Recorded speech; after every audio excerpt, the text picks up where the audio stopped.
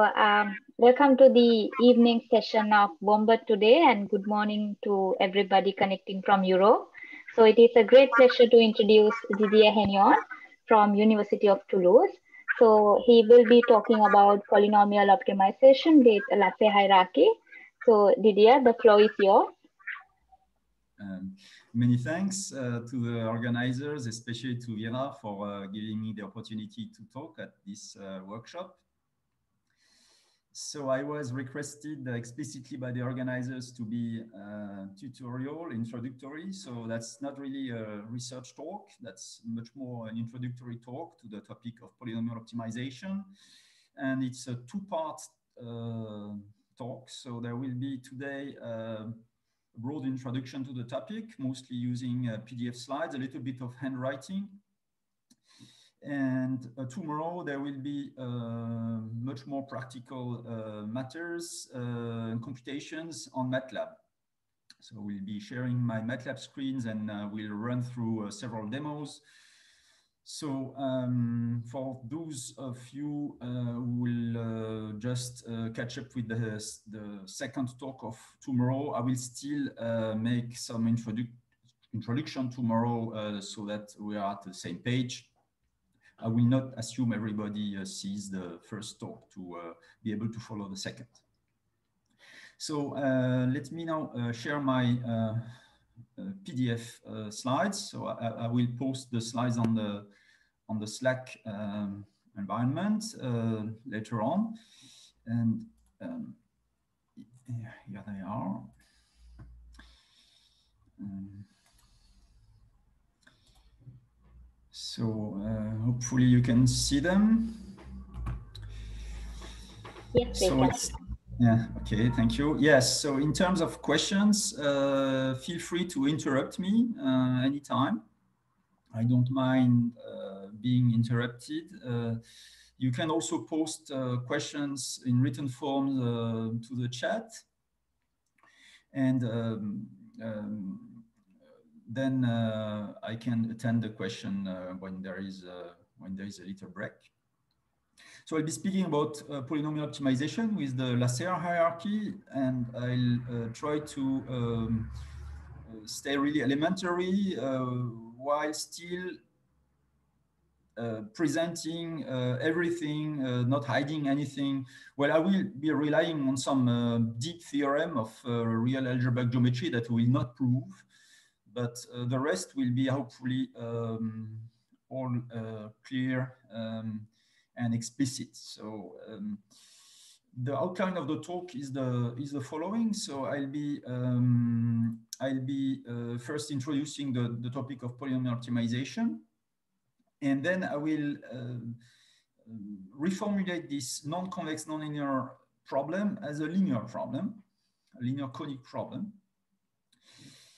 And uh, in order to be able to uh, address uh, numerically constructively this linear formulation, I will have to go through cones of positive polynomials and moments and cones of polynomial sum of squares and moment relaxations. So this will be the third part. And this will be the core, the, the core technical ingredients to uh, construct the so-called Lasserre or moment sum of squares uh, hierarchy. So presenting the, um, the hierarchy and um, the mathematical uh, components of it is the main purpose of this first lecture. And tomorrow we'll see how it works uh, in practice on the, on the computer. At the end of the lecture of today, I will um, uh, mention a few extensions and pointers uh, for those of you uh, who want to know a little bit more. So what is polynomial optimization for me? Um, suppose that we are given certain number of uh, polynomials with real coefficients of uh, vector indeterminate. So they are multivariate polynomials of, of, of x, um, n variables.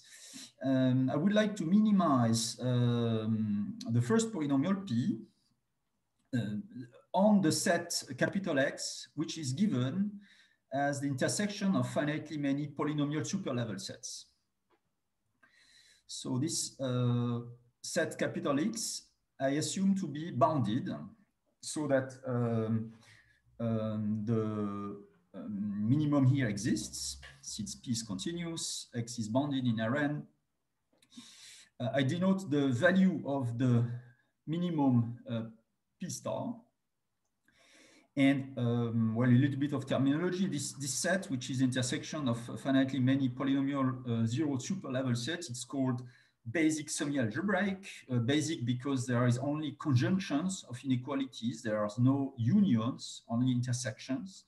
And semi-algebraic refer to the fact that we have inequalities and uh, involving polynomials.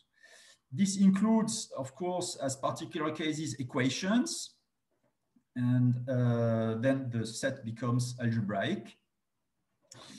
And in uh, full generality, presented like that, uh, I believe that nobody will um, uh, argue that this problem is uh, very difficult uh, by all possible ways of measuring difficulty. Uh, let's say that it's potentially very challenging, even for moderate dimensions, and it could be very difficult to solve the problem globally. So it's nonlinear, non-convex, so the objective function P can be non-convex. The set capital X can be non-convex, maybe uh, not even connected. It can be a discrete set, maybe union of points if you have equations, and here you have an algebraic variety. And of course, uh, there could be several global optimizers. So an, an optimizer or minimizer um, refers to a value of x for which p of x is equal to p star. And there could be even uh, infinitely many optimizers. They can lie on uh, algebraic variety. There could be uh, um, as many as we want, infinitely many.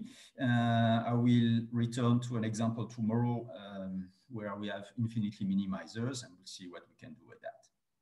So that's polynomial optimization problem, uh, arguably difficult, challenging problem.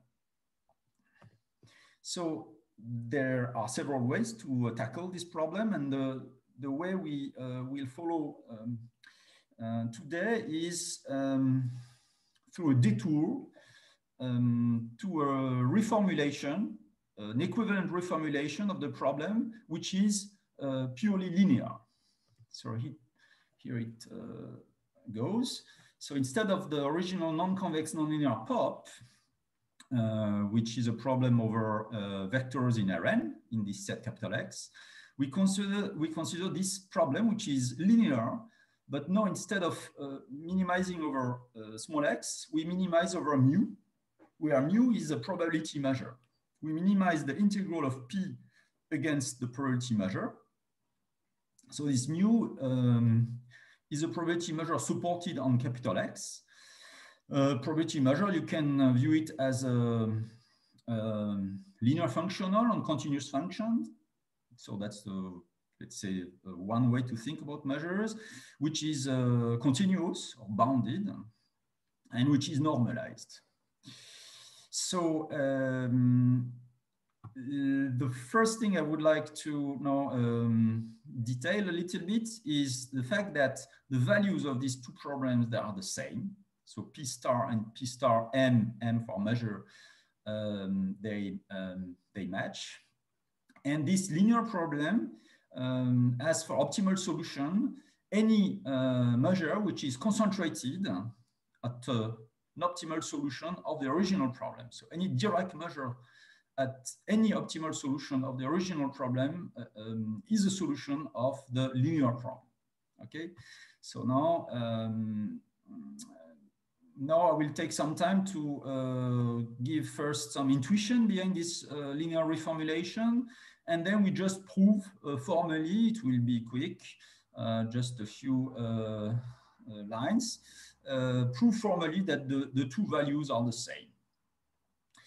Okay, the, the benefit, before I go through that, the benefit, of course, is that instead of having here a non-linear, non-convex problem, here I have a purely linear problem as soon as I am able to deal with uh, probability measures on X. And the rest of the lecture will be precisely how to deal with uh, computationally with probability measures on, on X, capital X.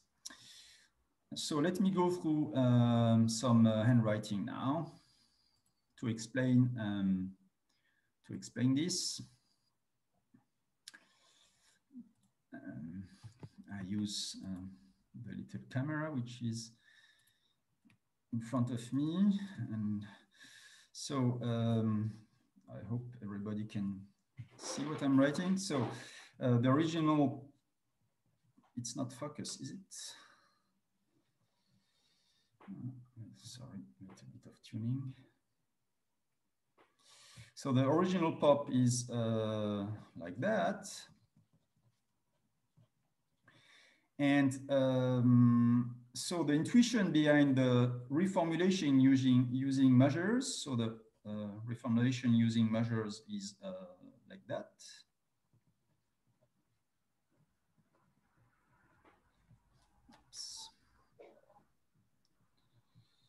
The intuition is the following. So uh, suppose you look at the graph of the polynomial on a set uh, X. So, so suppose this is a set X. So this is Rn. The polynomial will look like that. That's P as a function of X. So the, the intuition behind this reformulation is that in X, we, uh, use, uh, we choose some samples, some values of X, as many as we want, and we try to evaluate the polynomial at these points. So we get the values.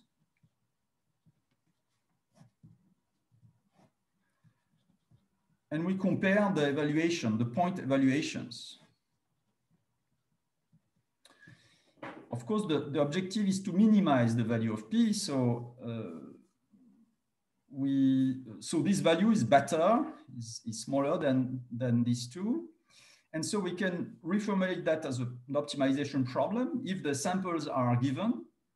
Uh, so given the samples xk in capital X, uh, we may want to find the weights that I will denote WK, summing up to one, such that this quantity, the weighted evaluations of the polynomial at xk is minimized. So uh, given the samples, we want to find the weights here so that this uh, linear combination of the point evaluation is as small as possible. And of course, uh, the intuition tells us that we should put, uh, if there is a single global minimizer here, we should put all the weight here so that here uh, W3 will be one and W2 will be zero, W1 will be zero. So this is the intuition behind this integral formulation, which somehow is the way to write this sum, this weighted sum. But in a mathematically uh, rigorous way as a, a weighted combination, but where the number of samples here can be infinite, can be uncountable. Um, the constraint that mu is a probability measure uh, means that the weights should be non-negative and that they, they should sum up to one. So that's the intuition behind this uh, linear reformulation. Uh, you see also that here, uh, I assume that the samples are given so that um, here what uh, the unknowns are the weights and I am linear in the weights. That's exactly what the uh, probability measure does here. So that's the intuition behind the, this uh, measure reformulation. Now, when it comes to proving that uh, that P um, P star is P star M, uh, so P star is the value of the polynomial optimization problem and P star M is the value of the linear problem on probability measures. Uh, it's as simple as uh, follows. So uh, we just uh, use definition of a global minimum P star um, to claim that P, of x is bigger than P star for all x in capital X.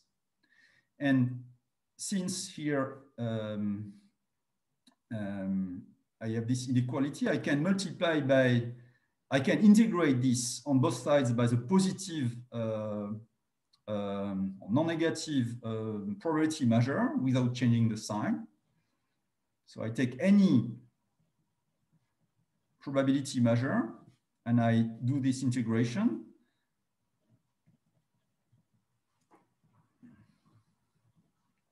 For all probability measure, um, let me call it like that for all proba mu on capital X.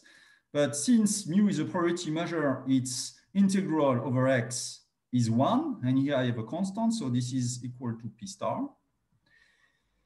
And here you see that for every possible probability measure, this quantity is bigger than p star.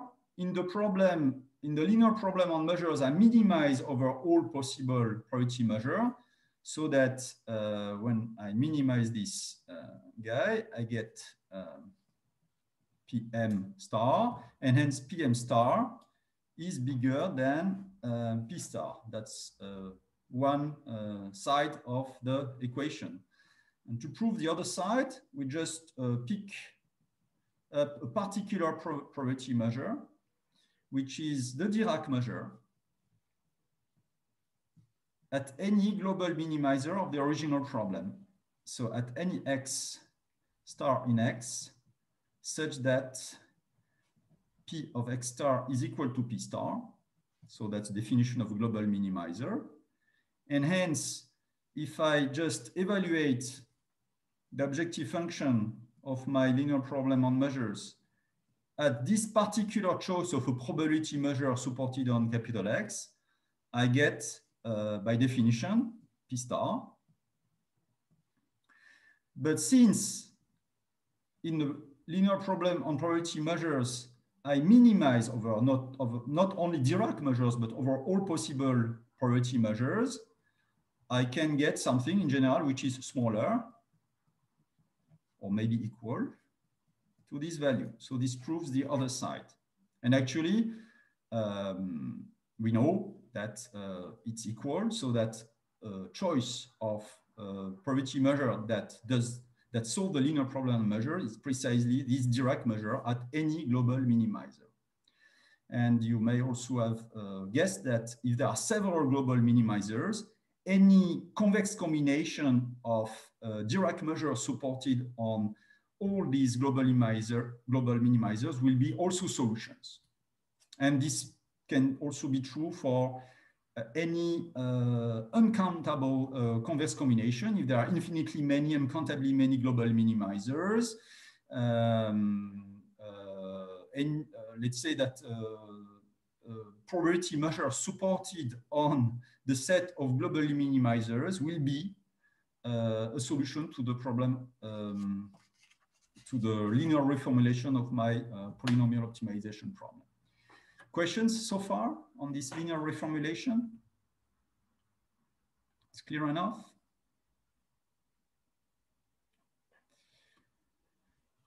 Uh, okay.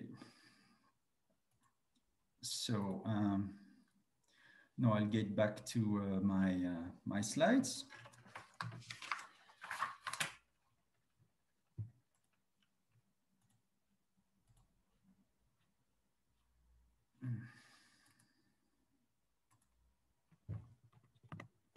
Okay, so um, I hope I could convince you that uh, here um, um, solving this problem, this nonlinear non-convex problem is the same as solving this linear problem. And of course, uh, the challenge will be uh, to design a numerical method uh, to solve uh, this problem on probability measures.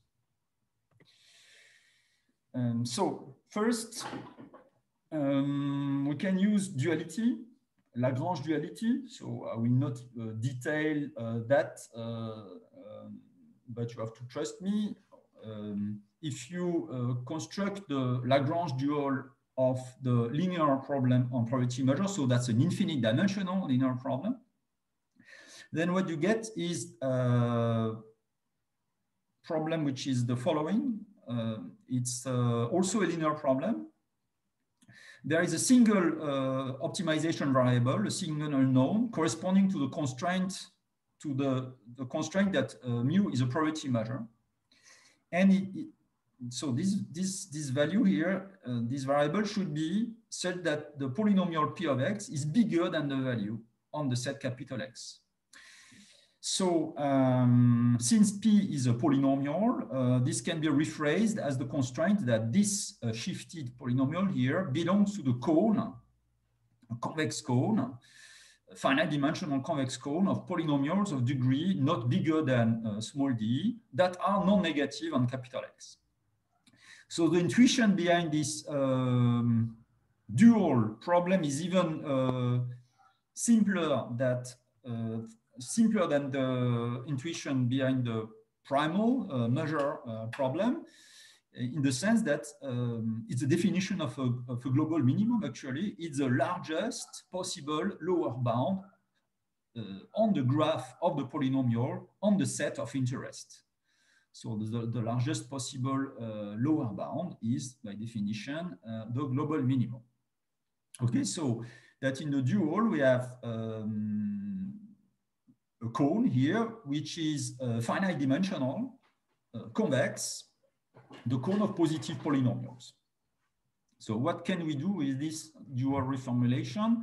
Especially what can we do with this, uh, with this object here? Um, is it easy to uh, deal with? So um, before uh, dealing with the uh, cone itself, I will uh, look at its um, dual. And for that, I will, I will have to introduce some notations. So I'll speak of polynomials, uh, P of x, and polynomials can be expressed um, in any basis. Since the, we are uh, restricting our attention to polynomials of finitely many variables and finite degree, the basis that I needed B here uh, will be just a basis of a finite dimensional vector space. So its dimension is this uh, binomial coefficient. And I will index elements in this in this basis uh, in uh, yes in this set of indices here a vector of integers summing up to um, up to d and so I can express any polynomial in this basis as the linear combination where the PA here are real numbers. Uh, it's just expression of the polynomial in the basis. You can think of uh, monomial basis, for example, and this is what we'll be doing uh, uh tomorrow uh, computationally, just because it's easy to write. Maybe not numerically the best choice, but uh, at least this is easy to write. Uh, if you uh, are doing numerics, you may want other bases, maybe Legendre polynomial, uh, Hermite polynomial, or Chebyshev polynomial. There are plenty of choices. The objective function in my linear problem on uh, measures uh, then just writes as a linear combination. If I just replace here p of x by its expression, I have a weighted combination of numbers here, uh, y uh, indexed uh, a, which are moments. That's the definition of a moment of a measure mu. Okay, if you just write here if you expand p in the basis, you see that this becomes a weighted combination of these integrals. And these are defined as moments of a measure. So if you have just uh, monomials, uh, powers of x, um, well, actually, um, it's multi-index uh, monomial. So there will be products of uh, integer powers of the entries of X. You have uh, multivariate algebraic moments of the measure. Okay, so we can write the objective function in the problem on measures uh, as a linear function of the moments so that the uh, linear problem on probability measures that we started with can be uh, reformulated as a linear problem on moments of these measures. And here you see this constraint here just uh, models the fact that um, uh, mu is a probability measure. So it's integral against the function which is one. um, is equal to one. And uh, okay, if I just have uh, this, uh, this is certainly not enough for uh, y to correspond to moments of some measure. So I have this additional constraint here that uh, uh, enforces y, the vector y, to have its entries ya equal to moments of some probability measure supported on capital X. So this this is written as a conic constraint. And there is a theorem, which is uh, called the Riesz-Haviland theorem, which uh, tells us that this cone, this is the so-called uh, cone of moments, is actually the uh, topological dual to the cone of positive polynomials. So it's the, the set of all um, linear functionals uh, y on the cone of positive polynomials uh, which are non-negative. So that this problem on moments, actually, uh, it's a finite dimensional uh, convex problem, and it's dual to this other finite dimensional convex problem, uh, the, the, the, the, dual problem uh, on uh, positive polynomials that we just had before. So these two problems here, this one and this one, uh, uh, they are in uh, duality and they are finite dimensional convex. Okay, I should mention also the fact that I can safely replace here measure by its moments since the uh, set over which the measure is supported is uh, compact, so that there is a bijection between uh, the set of moments, um, the countable set of moments, and uh, the set of uh, measures on capital X. Already mentioned that this constraint here uh, corresponds to the normalization, the fact that the measure is a probability measure. And uh, yeah, and this is the duality theorem on which uh, I rely to uh, put these two problems in duality. Okay, so I started, uh, let me recap. Uh, I started from a finite dimensional, nonlinear, non-convex polynomial optimization problem.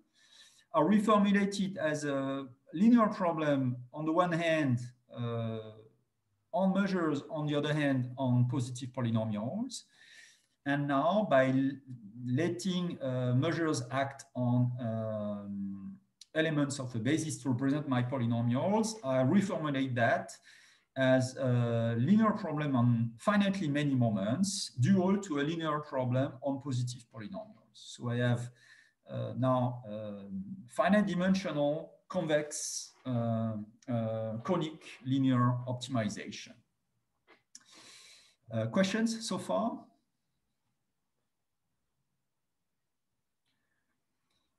It's okay. So you can have a question. Um, so you mentioned that uh, we can choose actually different bases, not necessarily monomials. So, yes. but uh, which I guess monomials is probably the most unstable, uh, or it's not true. So, what's your well, recommendation here? Well, yeah, uh, I mean, numerically speaking, the the uh, mon the monomials are not behaving well uh, uh, in the sense that uh, if you look at uh, already in, in, one variable, the function x to the d, so let's say x is a scalar, d is an integer. And if you look at this function, uh, for d large, say d uh, an even large number, uh, basically between minus one and one, this function is almost zero. Mm -hmm. And outside of minus one and one, uh, it is almost infinity. And at minus one and uh, one, it is equal to plus one. So uh, as soon as the degree d is large, um, uh, this function does not bring much information. Uh, so, and all the monomials x to the d um, uh, look the same for d large enough okay? So you may want to use other uh, functions than uh, monomials to represent uh, high degree polynomials. Uh, and for example, uh, for example, highly oscillatory uh, polynomials could be preferable, maybe Chebyshev polynomials. However, uh, for uh, what we'll see later on, this Lasserre hierarchy, the size of the problems will be already uh, such that uh, the benefit of using alternative polynomial bases will become, then the monomial basis will become not so apparent. So that, okay. that would be for larger problems or problems with sparsity and additional constraints. This mm -hmm. is, uh, this is why we'll stick with monomials um, at least to write things down, to explain the theory, this is preferable. This is simpler, at least to our experience. Yes. Didier, uh, Russell, Luke, and Göttingen, I have a, a really basic question that, that, more more reveals my my inexperience with this. Uh, so I'm looking for conservation of difficulty. You took a mm-hmm. non-convex problem, you you reformulated it as a linear problem. Mm -hmm in an infinite dimensional measure space okay conservation of difficulty there. But then all of a sudden when you when you go to your to your later formulations you've got a a finite dimensional problem of accountables uh, it seems like all of a sudden you, yeah. uh, I, I, don't see the difficulty preservation here going from your infinite dimensional problem on the top yes, there. Uh, thank, thanks for can asking. You, can you give me some intuition for that? Yes, the, the, the, the next uh, section of the talk will be precisely on the difficulty of dealing with this uh, finite dimensional convex cones. So um, maybe there is a mis misunderstanding that uh, finite dimensionality and convexity means uh, means uh, computationally easy. Um, that's not the case, actually. There are very few convex finite dimensional cones for which we can really uh, optimize efficiently. Uh, so we don't know, uh, of, of, course, uh, everything uh, about it, but basically the semi-definite cone is probably the, the, the, the most general finite dimensional convex cone over which we can really uh, optimize efficiently. All the other finite dimensional um, convex cones are, are, much more difficult. And so these are, these are uh, two of them. And I, I will, okay. I will tell more about them now. Yeah. So there is a difficulty here. Yeah. Good. So I hope this answers partly the question. Yeah, yeah, yeah. Thanks, thanks. Okay, so let, let me get to these cones. So, okay, uh, so convex finite dimensional does not mean easy at all. Okay, uh, these are challenging. These, just if you give me a vector p, a vector of coefficients of a polynomial, or a vector of moments of a measure, and just to know whether indeed this corresponds to a positive polynomial or to a positive measure, this is very hard. This is very hard. I will not embark into discussions on computational complexity but um, uh, just testing a membership oracle in this cone uh, is really a challenge. And not much is known actually about the geometry of these cones, whereas much more is known about the geometry of the semi-definite cone I will be talking about later on. For example, if you want to optimize over them, yeah, we don't have efficient barrier functions and uh, actually they're, they're, they're, they are challenging um, on their own. Yeah, questions? Yeah, is there a precise statement about what you mean by difficult, like in terms of yeah, yeah. and things like this? Yeah, well, this I will not, uh, yeah, well, the classification in complexity theory is not always uh, related to difficulty. So there are many, in the same class, in the same complexity class, there are problems that are extremely hard and that are very easy to solve in practice on the computer. So I will not embark into this difficulty yeah, uh, question and complexity classes. Uh, that will bring us a little bit too far.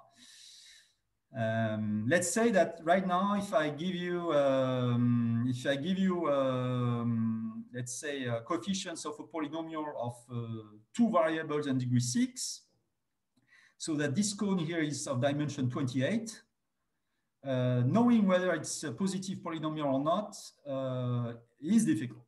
It's difficult and uh, uh, well, there may be computer algebra algorithms that uh, answers the question, but uh, it will take some time for them to run.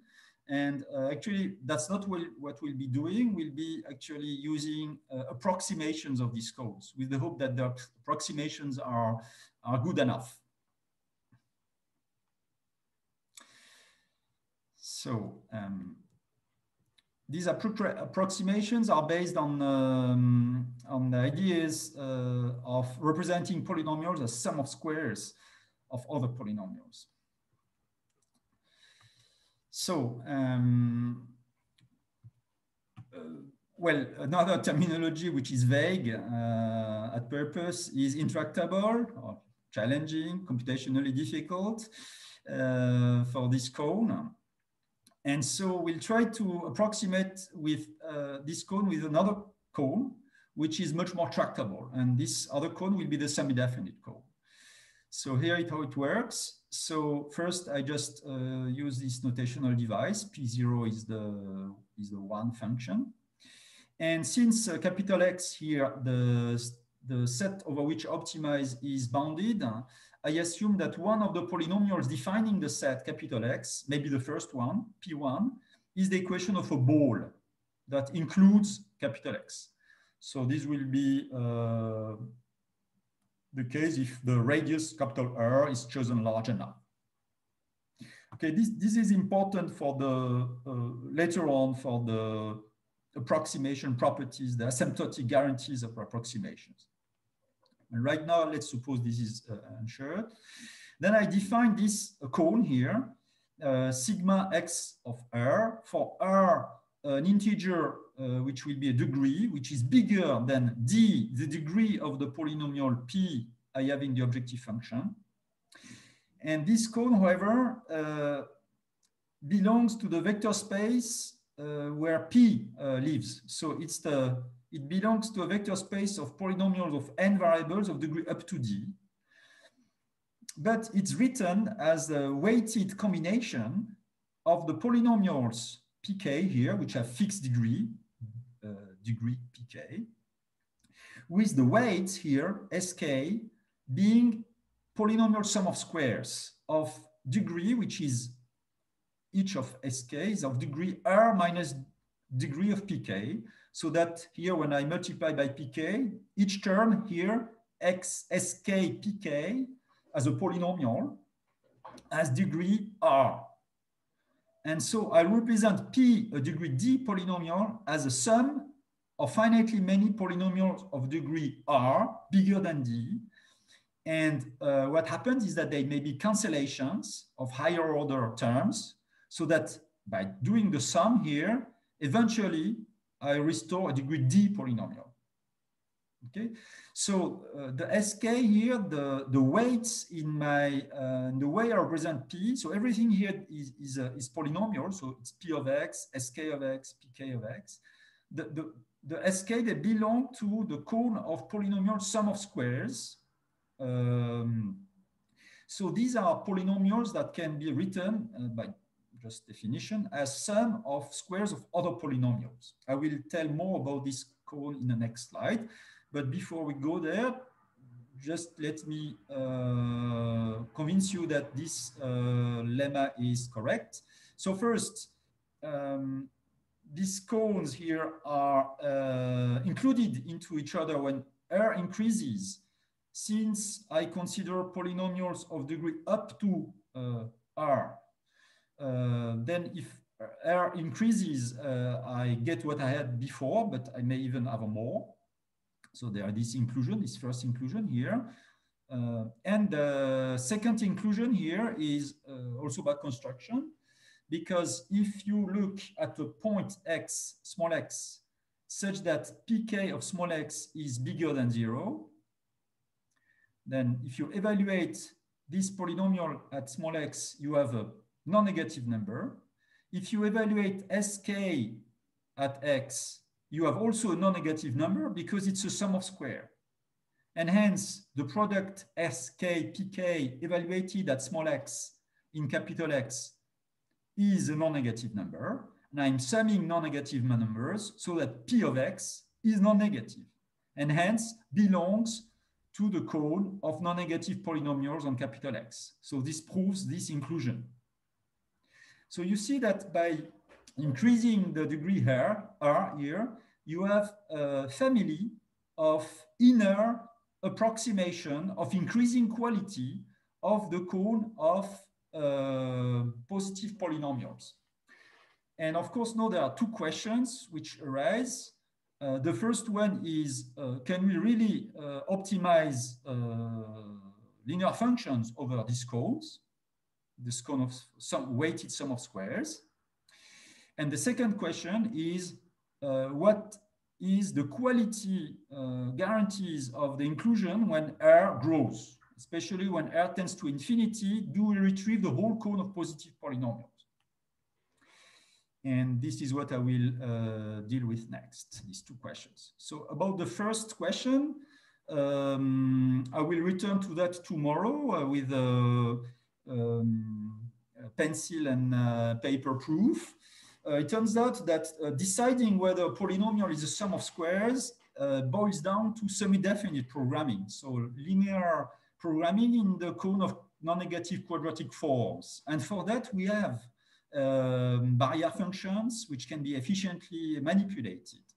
And we have primal dual interior-point methods, which are uh, efficient uh, to solve problems uh, of that class.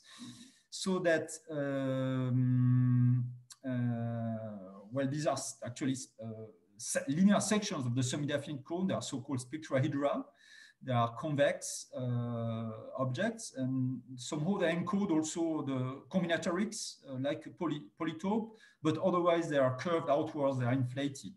And uh, very much is known about these uh, spectrahedra, these sections of the semi-definite cone and the optimi optimization over, over them. So that the answer to the first question is uh, affirmative.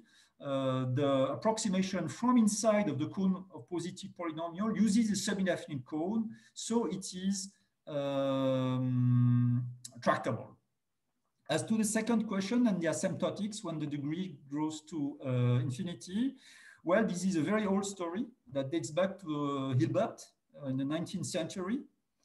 And Hilbert actually knew already that uh, actually there is a match between the cone of sum of squares in n variables um, and degree 2D and the cone of positive polynomials, but only in three cases. When the number of variables is one, so univariate polynomials, they are necessarily sum of squares when they are non-negative, or quadratics, so these ones, we have degree two polynomials, quadratic uh, polynomials, they are necessarily sum of squares if they are non-negative, or the third case uh, is uh, bivariate polynomials of degree four. Bivariate quartics, if they are positive, they are necessarily sum of squares. And in all the other cases, there are polynomials that are positive, but that are not sum of squares. And the first explicit example came much later. It's a polynomial due to Motzkin, which is a bivariate polynomial of degree six, so it belongs to this uh, cone of dimension 28, cone of positive polynomials. This can be shown easily. Uh, however, it cannot be written as a sum of squares of other polynomials. So that's a uh, counterexample uh, to the, well, an illustration, uh, an example to the fact that this cone, the cone of sum of squares is smaller than the cone of positive polynomials, is strictly inside and actually, uh, there is also the story of uh, Hilbert's address at the ICM uh, in Paris. Uh, that's a picture of Paris during the uh, international exhibition in 1900. Uh, Hilbert's 17th problem was precisely about the question of whether positive polynomials can be written as sum of squares of rational functions. Or more generally, if non-negative rational functions can be written as a sum of squares of non-negative rational functions, okay? Because it was known to Hilbert already before that it's not the case for polynomials. There are polynomials that are positive, but are, which, which are not sum of squares. Okay, so that's an old story. And um, as far as the, uh, since we are at uh, solving problems of more than two variables and degree bigger than two, uh, will be faced with this uh, the fact that positive polynomials um, is a bigger cone than the cone of sum of squares. Um, so we have a strict inclusion here uh, of sigma into p. And I, using convex duality, we can actually, since this is a cone of moments, we can have uh, uh, the reverse inclusions so that in the moment dual space, we have outer approximations of the cone. And since we have outer approximation, these elements here, uh, I will uh, tomorrow show you how they look like explicitly. Um, these are called uh, linear matrix inequality relaxations. Um, so these elements are sometimes called pseudo expectations or pseudo moments, since they are not necessarily moments. They are, you may have uh, uh, vectors here in, in these cones which are not moments of measures. And that's why we say that the, uh, this guy here is a relaxation of this guy in the moment space. Whereas in the positive polynomial space, this is the other way. This is a reinforcement or straightening, an inner approximation. So that's the idea behind the Lasserre hierarchy. Instead of uh, dealing with this uh, finite dimensional convex linear problem, which are intractable in the cone of moments and positive polynomial, we uh, solve the problem in these uh, outer, respectively inner approximations, which are semi-definite problems. And so instead of having a single problem, we have a family or hierarchy of semi-definite problems. You see the, the, the, well, there is actually duality here, but also here, it's not hard to prove. And we have uh, not a single semi-definite problem, but the whole family of semi-definite problems corresponding to this original intractable problem. For increasing values of the so-called relaxation um, order, so in, uh, integer R is called the relaxation order, we have this inclusion. And the second question I, uh, I asked is whether the inclusion is tight when R grows. And indeed, it's a result by Mihai Putinar from real algebraic geometry, the proof of which is rather complicated with his operator theory, that up to taking the closure, uh, when R tends to infinity, we retrieve all positive polynomials.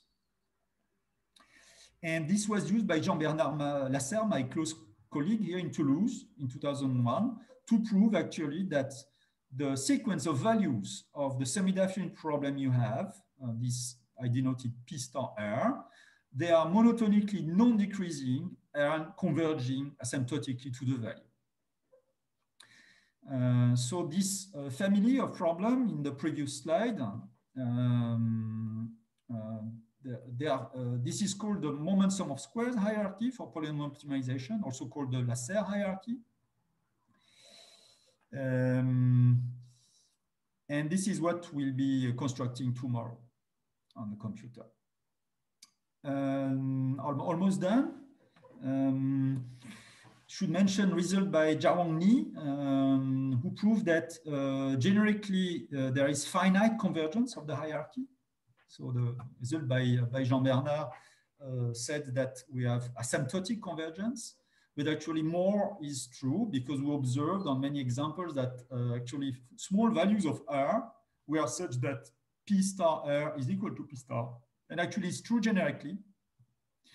Generically uh, should be understood in the, in the following sense. So if you give me a POP, polynomial optimization problem, I will perturb it a little bit and in my perturb problem, I will have finite convergence. So even though if you cooked up your pop uh, in such a way that uh, we don't have finite convergence, and such problems exist, a vanishingly small perturbation uh, of your pop uh, will result in a problem for which we have finite convergence. Uh, of course, uh, not much is known about the value of R for which this will be true. So if you give me a pop, um, and if you allow me to perturb it, I will not be able to predict what is the value of R for which I will have um, the value of the relaxed uh, problem equal to the value of the original problem.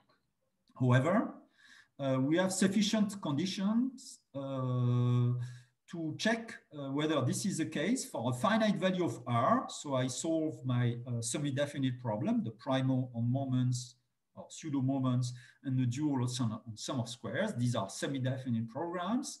I solve them on my computer And I can use numerically, uh, numerical linear algebra. Uh, I will, I will uh, talk about that tomorrow um, to check ranks of moment matrices.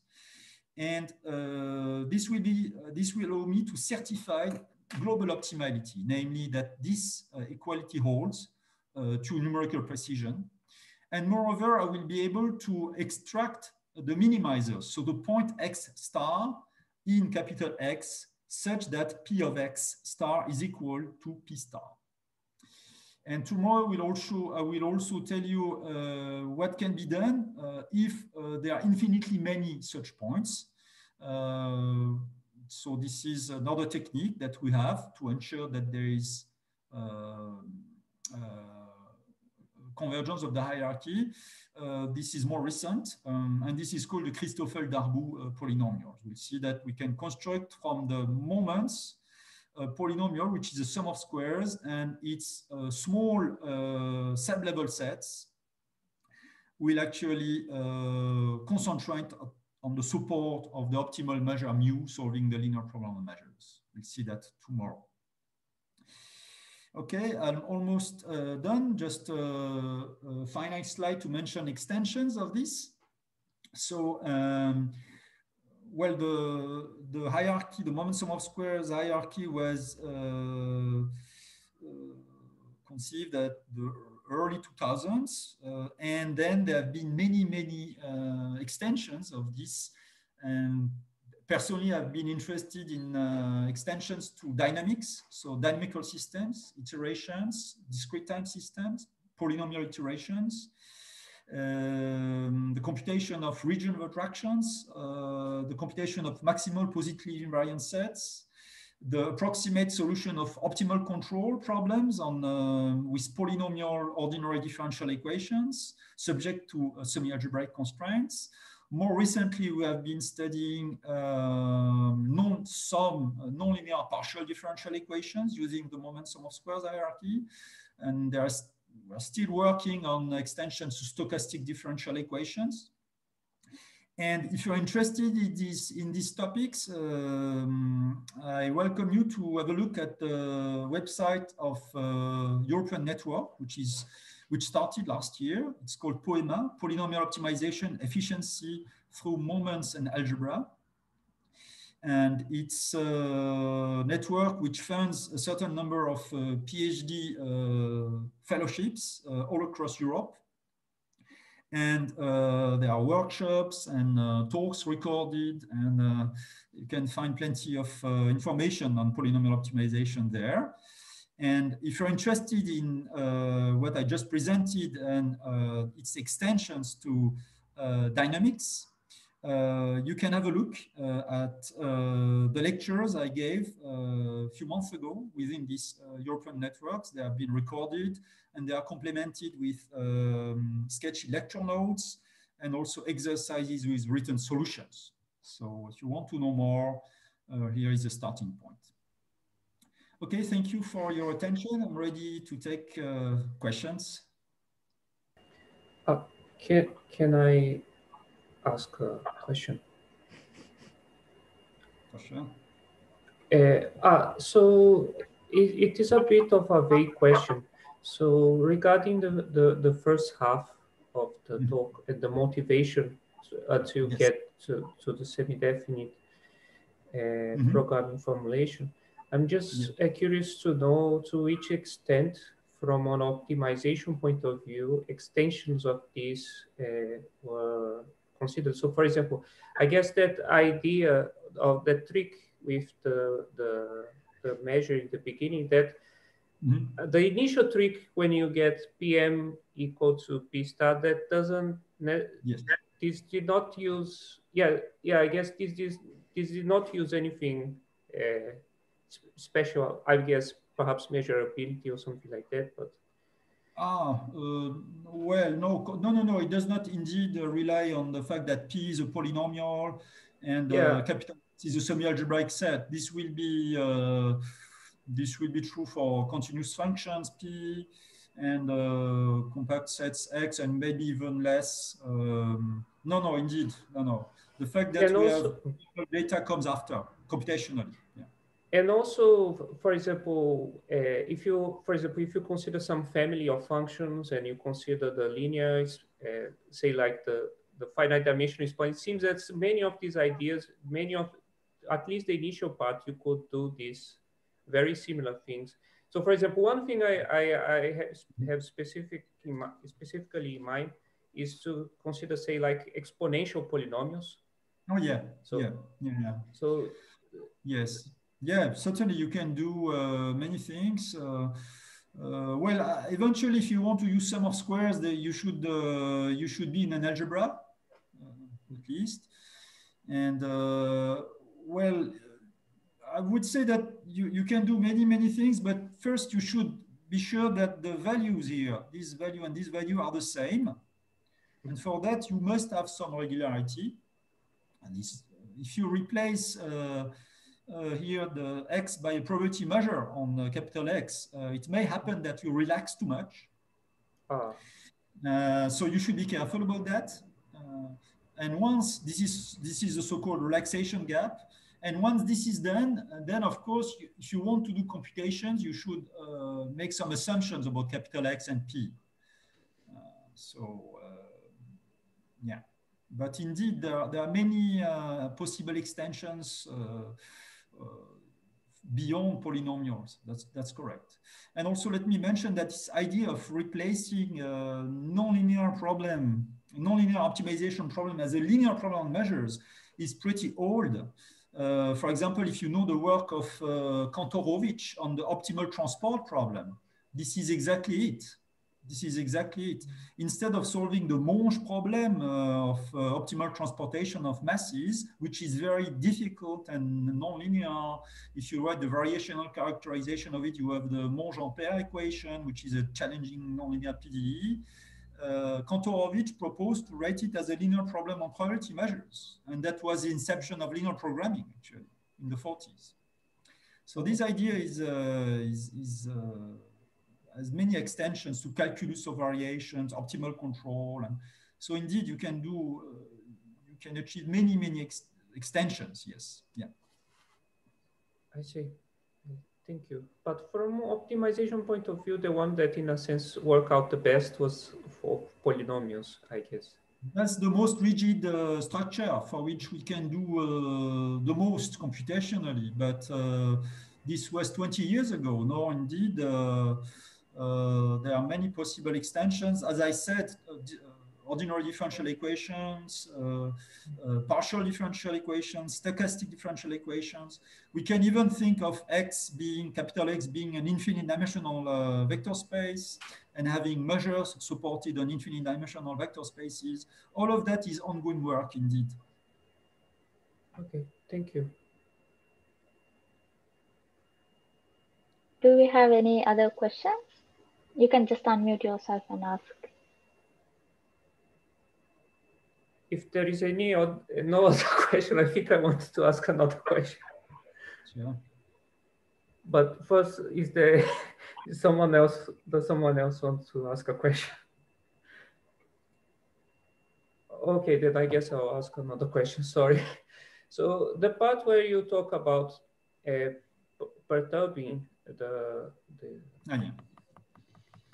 So, so okay, so you if you perturb, you might get finite convergence, but it, uh, can't you get a, also a different? I, I guess because I, I've seen some works, but more on the SDP side, that you you might when especially in degenerate condi in degenerate uh, situations where you, you you don't have necessarily continuity with respect to this kind of thing. So uh, continuity with respect to what? To the, yeah, to perturbation uh, ah. uh, with respect to the, the, the data. So you, you ah. can, so ah, perhaps you, value, the value of the value p star is not necessarily continuous as a function of the data. That, that's, that's, that's true. Yeah. But that's not what the result is about. The result is about finite convergence. So if you, of course, if you give me a pop and I perturb it, the value P star will be affected. Um, but this, the fact that you have finite convergence refers to the to the um, to the perturbed version. So uh, there will be finite convergence of the hierarchy to p star the value of the perturbed pop. So maybe this is confusing in the sense that you may have uh, expected p star to be equal to the value of the original pop, the unperturbed one. No, it's not what the result says. Oh, sorry, sorry. No, I, I mean, I understand that it would be different, but my concern is whether this difference could be too large. To, uh, yeah. so, about, for example, small perturbation is more perturbation, but yeah. large difference. I guess, uh, yeah, I can, I, yeah, I can, uh, I think it can be uh, quite large. I don't, I don't know what, what is known about the regularity of the value of uh, pop. Uh, this I don't know. I'm not an expert. Uh, I guess it should be lower semi-continuous, but I don't know if there are estimates on the size of the jumps and uh, uh, function of the size of the perturbations. And also it depends on the, on the way you perturb, the, which basis you are, and so on. I, I don't know much about that. Uh, thank you very much.